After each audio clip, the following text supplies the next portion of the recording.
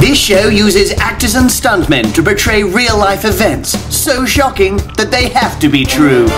On tonight's show, the young man trapped and helpless just inches away from his unknowing friends. I didn't think I was going to make it. I was shaking. It was bad. All this to come on Help, I'm in Trouble. Nature! Since the dawn of time, this has been mankind's only enemy. And when it calls, you better be prepared. These are cars. We use them to travel to work, shops, and even for transporting loved ones. But for Gary Trent in April last year, they would become an unescapable prison of steel and glass. It was uh, a Saturday, and me and my mates were going down the arcade. And I thought maybe I needed to pee, but then I thought maybe I didn't. So I didn't. For Gary, hope was now just something to be found on the fiction aisle of his local library. As soon as the car pulled away, I knew I'd made a mistake.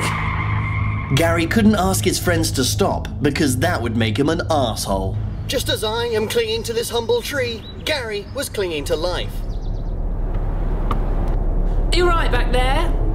Well, sometimes Gary's quite talkative, and sometimes he isn't quite talkative. I'm fine. But Gary wasn't fine. He really needed to pee. I really needed to pee. Pee! And then I saw an empty bottle and I thought, yes, I can use that. So I did.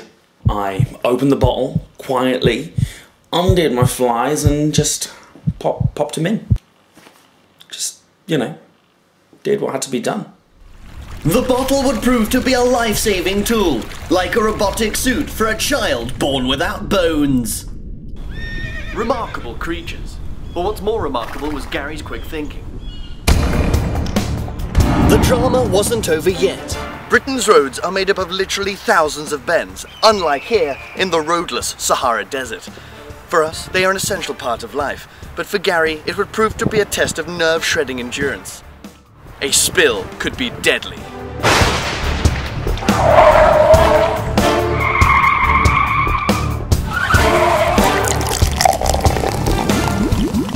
Gary hadn't spilt a drop.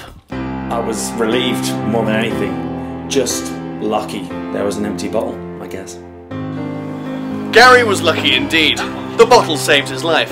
If it had been in a Mbongo carton or a Capri Sun, he might have died. I've been Felix Wednesday, and this was Help I'm in Trouble. Good night. If you have been affected by any of the issues brought up in tonight's program, then you can contact us and be in with a chance of winning a free Help I'm in Trouble t shirt for just £10.